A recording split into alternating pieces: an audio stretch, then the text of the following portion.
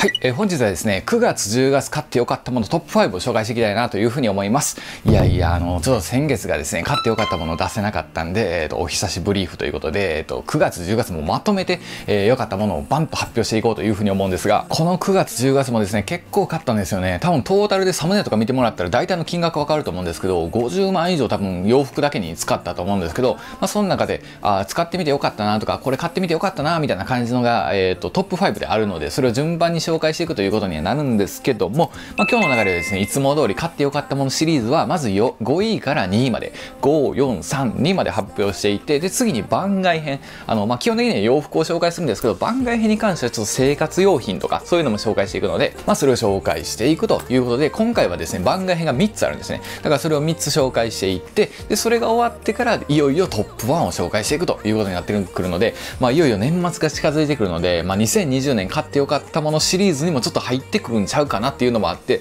まあ、僕も慎重に選んでおりますので、まあ、今の現段階で買ってよかったなというのを第5位から紹介していきたいなというふうに思いますではですね第5位というのがこちらのパタゴニアのレトロ X になります。まあこれはもう言わずもがな名作中の名作ということで僕がとやかく言うことはもう今ないんですけどもやっぱり実際今でもですねパッて使ったりするじゃないですか。ほんならやっぱパあのー、パフリースならではのこう寒さってあると思うんですね。ヒューって風が通り抜ける。特に今とか夜もちょっと寒いんですよね。でそんな時にパーってフリースならではのこの寒さっていうのをしっかりこの内側の防風生地がガチッと止めてくれるので全く寒さを感じない。そしてなおかつ暖かいっていうことになってるので、まあ、これに関してはやっぱパタゴニアが本気出して作っててこれはもう他のブランドでも真似できないぐらいのレベルになってるじゃないですかだからまあ他のノースフェイスとかアークテリクスとかもうなんか同じやつで出しないじゃないですかフリースは出してるけど防風のフリース出さへん理由って、まあ、ここまで突き詰めたらちょっともう頭一つも二つも飛び抜けてるなっていうことで、まあ、これに関してはまあ着用してもう悪いとこまああんまないでしょうということで、まあ、唯一雨の日は着れないんですけど、まあ、そういうところでもともといいっていうのは分かってたんですけど、まあ、実際着てみてもまあまあまあ良かったなということで、えー、まあ多分時期的にもですね今の時期10月終わりっていうことなんでもう多分そろそろ売り切れ出してると思うんですよね。だからまあレトロ X はちょっと早めに買っとけばサイズとかあの色とか全然あるんですけども、まあ、あのそんな感じになってるので、まあ、ちょっと僕は今回特殊なあのこのあのバイキンマンカラーを購入はしてるんですけども、まあ、人によったらもうちょっとこう定番の色を買っておけばずっと着れるんじゃないかなということになってますので第5位というのがこちらパタゴニアのレトロ X ということになってます。まあ、一回ちょっと着ときましょうかね。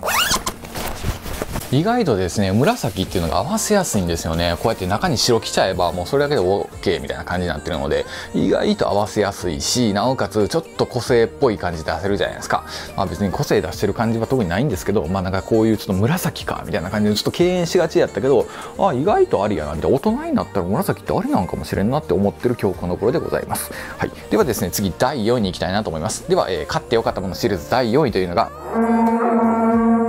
こちらのバブワーのビデイル SL になってます。でこれに関してはですね僕普段よくレビュー動画出してると思うんですけど、まあ、基本的には皆さんが見たいものを購入するっていうのがもう僕のスタンスでやってるんですけどこのビデイル SL に関してはもう個人的に僕が買いたくて買ってたんですよね。だからまあ好きで買ってたっていうところもありますしなおかつ今買っておけばどんどんこう劣化していって古臭くなっていくかっこいい感じのを味わえるっていうことになってるので、まあ、こんなもん早ければ早いほどいいじゃないですか。だからまあ僕にとってはちょっと遅かったんですけど31歳ちょっと遅かったかなと思うんですけど、まああのまあ、よく漫画の名言とかでですね、まあ、あの気づいた時が一番早いっていうのがあるじゃないですか、まあ、そう考えたら31歳になってもですねバブアーのビデイル SL をデビューできたっていうところが良かったなというふうに思ってまして、まあ、これに関してはあんま切れてないんですよ。切れてないから、まあ、今分からんちゃ分からないんですけどまあでもですね個人的には好きで買ってるっていうところもあるので、まあ、これからどんどんどんどんマジでこう6050とかなった時になんで年下がったんか分からんけど、まあ、そうなった時にあ買ってよかったなって絶対思えるやろうなというふうに思ってるので、まあ、一応4位にランクインしてます。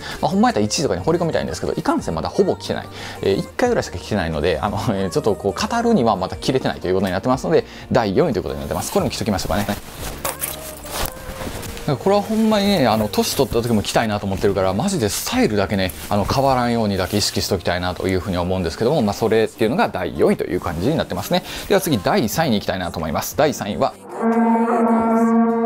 こちらパタゴニアの、えー、シンチラライトスナップティーになります。でまあこれに関してはですねこれもめちゃくちゃ有名なんでそんな熱く語ることはないかなと思うんですけどこれやっぱですね着やすいんですよね。であのちょうどいい分厚さになってるのでパッて外出ようかな何着ようかなあシンチラスナップティーですやんってなったりとかするし今みたいに朝晩がちょっと肌寒い時とかにちょっとこう車乗るとかってなったりしてえ何着ようかなみたいなこうシャカシャカ着るやつ着てもあの暖かくないじゃないですか。だけどまあ車やしなと思ってあシンチラスナップティーってなったりするしちょっとコンビニ行ってチョコでも買いに行こうかななんて思った時に何着ようかなあシンチュラスナップティーってなったりするのでこれ結構ね、まあ、パッて使いやすいんですよ、まあ、ただ唯一こうデメリットやなと思うのがこう被らなあかんのであの今みたいに髪の毛セットしてる状態で被るともうくしゃくしゃになるんですよね。でなんかあのうあのフリースの毛とかもついてきたりするので、まあ、それはちょっとあのセットする時はもう被らないんですけどちょっと寝癖ヘアとかでちょっとどっか行こうかなとかドライブしようかなと思う時なんかはこれパッてきたりとかしたりするので、まあ、そういう着方ができるっていうことにはなってるんですけど多分ですねねこれから冬場本格的に冬になってくると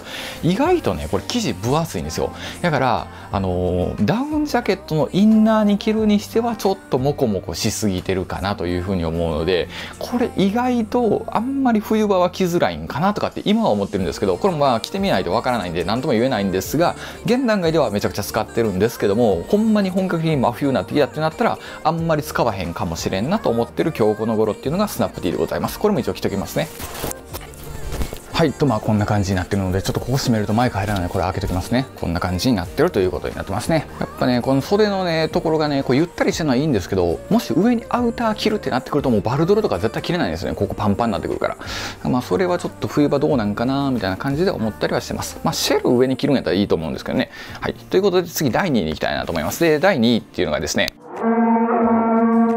こちらにはないんですけど今履いてるパンツになりますね。こちらのノースフェイスのインサレーションパンツになってるんですけど、まあ、これが何かというとこの中綿が入ってるんですよね。だから冬場とか僕今までなかったんですけど普通にパンツ履いてたんですよ。でパンツ履いてるのはいいんですけどやっぱり上はあったかいけど足元寒いとかっていうの結構あったりしてで僕結構乾燥をはたいたりするのでもうなんか色がねあの薄くなってカサカサなってる感じになってるんですよ。あれ見てたらですねほんまなんかこうかわいそうやなと思うぐらい肌がカサカサちゃんになってるので、まあ、なんかどうにかならんかなと思った時にちゃんとこうしっとりあの乳液クリームを塗ってあげてまあちょっとおっさんの美容の話はどうでもいいんですけど、まあ、その塗ってあげてその上にさらにこうあったかいパンツを履いてあげるっていうこの幸せ感。でなおかつ動きやすいのでほんまに部屋着としても使えるしそれ以外にやったら外でのスポーツとかあと外での仕事ですよね。僕教員時代やったら間違いなくこれを冬場買ってたと思うんですよね。めちゃくちゃ動きやすいしあったかい。だからあのちょっと走り回るとかにも向いてるし、まあ、仕事とかって他何があるんか分からへんけど、まあ、そういうのが使えたりとか。すると思うので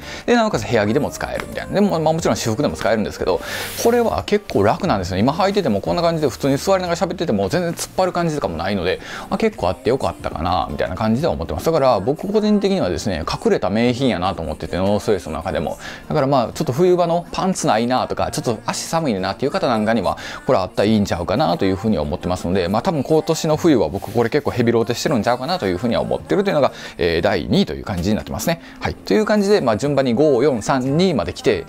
1に行きたいところなんですけどもちょっと維持はちょっと最後のケツにちょっと持っていかせてくださいということでちょっと動画の視聴時間をぐっと伸ばすために、え1は最後に掘り込んでおくのでここから番外編、まあ、生活の、えあれが良くなっていくみたいな感じの話を3つ掘り込みたいなと思いますので番外編まず1つ目っていうのがですねこちらのスマートロックになってます。でこのスマートロックが何かというとですねこれ勝手に自動で玄関の鍵を開け閉めしてくれるんですよね。でまああのそんなことをですねパッと聞いたらいやお前そんなもん自分で開け閉めぐらいせえよみたいな。これパッてひねるだけやんって思うとは思うんですけど、まあ、何がいいかっていうと何回かいいなと思うことがあったんですけどまず一つ目っていうのが朝とか例えば時間ない時ってあるじゃないですか。なんか知らんけど朝の3分って一瞬で過ぎるじゃないですか。でも夜の3分とか夕方の3分仕事の3分って全然過ぎひんのに朝の3分5分一瞬で過ぎるめっちゃ大事じゃないですか。ってなった時にめちゃくちゃ急いでってカバン背負って行こうと思った時にガーって急いでんのにこうドアパンって開けて鍵閉めるとこまでこうあーってやりながらやらなあかんけどこれに関してはもうドアが閉まった瞬間勝手に自動で閉まるんですよね。だから人がおろうがおらまいが鍵をささんくても急いでおってバーンってもうそのまま出て行って鍵のことに気にせんでもドアが閉まると勝手に自動でカチッて閉まると。で特にまあ僕は急いで出ることってあんまりないんですけど特に嫁はですね朝バタバタしてるんですよね。でも何が起こったんやんっていうぐらいバタバタしててもう行きますってバーって走っていくんですよ。でその時なんかは勝手にドアがパターンって閉まれば自動で鍵が閉まるので以前までは「行ってきます鍵閉めといて」って言われたりすることあったんですけどもうそれがもう全くなく「行ってきます」パーって出ていくだけでガチャンウィーンってしまったりするので、まあ、それが良かったりとかあとは買い物ですよね。買い物して両手塞がってる時があって近づくだけでこのスマホが連動してあの GPS で読み取ってくれたりするのでそれで勝手に鍵がウィーンって開くんですよね。だから両手がどうしても塞がってて鍵入れんのって今までこう震えながら鍵入れてた時とかあったんですよ。だけどそれをもう全くせんとスマホがあるだけで近づいていったら勝手に自動でビーンって開くみたいな。だからノブだけヒュッてドアノブだけヒュッて開けてあげれば自動で鍵が開いてるみたいな感じになったりするので、まあ、その辺が今のところは良かったなというふうに思います。思います。はい。でまああのリモコンも一緒に買ったりはしたんですけどリモコンに関しては僕使ってなくても嫁にあげてるので、まあ、それがまた良かったら僕用にもリモコンは買おうかなとは思ってるんですけども、まあ、今のところはまあそんな感じで使ってて、えー、スマホでも開けたりできるので遠隔で例えば今とかやったらあの鍵が閉まってるんですけどこのボタンをポチって開けてあげるだけで向こうの鍵が勝手に開くんですよね。っていう感じで向こう今開いたんですけどでこれで閉めたら閉まったりできるってことなんで、まあ、この辺はまあまあ便利やったかなということで、まあ、我が家のスマートフォームの一環で購入したというのがまず1つ目ですね。で2つ目っていうのがこちらのマッサージガンになるんですね。でこれパッて見たらですねおおんかインパクトのドリルか DIY するんかいなっていう感じだと思うんですけどこれがですねあのマッサージできる機械になってるんですよ。で、まあ、こんな感じであって先っちょをなんか変えていけるんですよね。だから部位とかによって変えたりとかできるんですけど、まあ、例えばこうやって王道なやつでいくじゃないですか。これなんか飛んできそうやなと思うんですけど飛んでいかないんですけどね。後ろのタッチパネルを2秒間押したら電源がついてでさらにプラスボタンで振動の大きさを変えていく。レベル5まであるんですけどまず1こんな感じで震えていてレベル2でレベル3レベル4レベル5みたいな感じで使えたりするので決してこれ怪しいものとかの変な変態なものではないんですけど本当にマッサージするためのものなのでこれで僕はこの肩のところとかガーってやって今ちょっと声が震えてると思うんですけど、まあ、自分の好きなところをこうやってマッサージできるんですよ。で個人的に一番気に入ってるのはですねこの指圧できる用のなんか指の腹みたいな感じのところがあるんですよ。でこれでですね足の裏僕結構足の裏疲れるんですよね。だから足の裏をこうやってガーってそうあのマッサージしながらこうやってスマホで YouTube 見るみたいな。これがもう最高なんですよ。ソファー座りながらガーって足の裏マッサージして YouTube こうやって見たら気持ちいいってなってですねあのー僕喜んで使ってたら気付いたらもう嫁もめちゃくちゃ喜んでこれめちゃくちゃいいやんって言いながらあの夫婦で愛用してます。で一応裏がですねこれ右側に電池の残量が出てくるんですよね。だから例えば今やったら60って出てるんですけど60%あと電池が使えますよみたいな感じになってたりとか、えー、左側はですね振動の強さ上げていくとプラスで上げていくと12 34って振動がどんどん強くなっていくんですけど、ま、そういった感じで使えて、え、あとは先っちょを変えてどこの部位をやっていくか。さっきみたいにこういう足裏のやつもあればこういった万能のどこでもできるやつがあったりとかそれ以外にあとアキレス腱とか首とかにあるやつもあったりだとかもうザ・ド定番のこれは肩ですね。肩とかにあるやつ。があったりとかまあほんまいろいろあったりするんであ、ま、マッサージ機ってあのでっかいあの実家とかに帰ったらあるやつあるじゃないですか。あんなんとかってめちゃくちゃ金かかるし場所いるけど、まあ、これぐらいやったら別にまあその辺パッてしまっといている時ビューってやってってでそれでテレビ見たりとかスマホ見たりするし腰とかにもこうやって当てながらこうやって YouTube 見たりとかもできるので、まあ、これはあのあってよかったなというふうには思います。というのが2つ目になってます。で、番外編3つ目に行きたいなと思うんですが番外編3つ目っていうのがこちらのスローとコラボした革のレザーのキーケースになってます。でこれに関してはですねコラボしましたっていう動画出したんですけどもまあ従来スローが出してる、まあ、茶色とかブラックとかあとは何やったっけキャメルとかっていう3色があるんですけどそれにあえてこの僕別注のヌメ革を使ってコラボさせてもらったっていうことになってるんですけどもまああの結構好評やったりしてもうすぐ売り切れちゃったんですよね。でまあ動画でも言ってたんですけど在庫がある分しかないのでもうそれが売り切れちゃったら追加生産しませんって言ってた通りあのすぐ売り切れちゃってもう追加生産はしてないんですが一応他の普通の色っていうのは全然今でも売られてたりするので、まあ、気になる方はそういう普通のまあ他の色ですね。よくスローで見る定番の色。これヌメなんですけどヌメじゃなくてブラウンとかキャメルとかブラックとかはあるので、まあ、そういうのを、え見てもらっていいかなというふうには思うんですけども、まあ、もし要望とかがあればまたスローさんにお話ししてですね別注のアイテムとか何かやれれば面白いかなとか思ったりするのでなんかやってほしいとかっていう声がぜひあればですねまたやろうかなというふうには思っております。ということになってるというのが3つ目にななってますので、えー、次はまたファッションに戻っていきたいなと思います。はい、ということでですね9月10月買ってよかったもの栄えある第1位というのがですねこちらになってます。こちらのアークテリクスのアトム AR フーディになってます。でですね、まあ、結構僕はあの買ってよかったものシリーズ1位に来るのアークテリクス多いんですよねでもそれぐらい品質が高いんですよもう生地からもそうやしもちろん中のダウンもそうなんですけどもうありとあらゆることにもう結構細かいところまで配慮されてて結構他のブランドとかやったらあここめちゃくちゃこだわってるけどここは結構チープやなとかってあったりするんですけどアークに関してはほんまに細かいジップのところとか、まあ、これでもそうなんですけどあの袖口の部分とかもめちゃくちゃ考えられて作ってるんですよね。これってよく言われるのが高かったらそれはええもんばっかりやろって言われることあるんですけどじゃなくて高くてもやっぱり抜いてるとか抜いてる会社もあったりするんですけどアークに関してはまあもちろん値段も高いんですけどその分ちゃんと細部まで考えられて作られてるっていうのが僕いつも手にして思うんですよね。だからまあこれに関してもあ多分今年インナーダウンで多分一番使うやろうなって思ってるぐらい気に入ってるので、まあ、僕ノースフェイスの中で一番好きなのはサンダージャケットっていう、まあ、これに似たようなインナーダウンが好きなんですけど、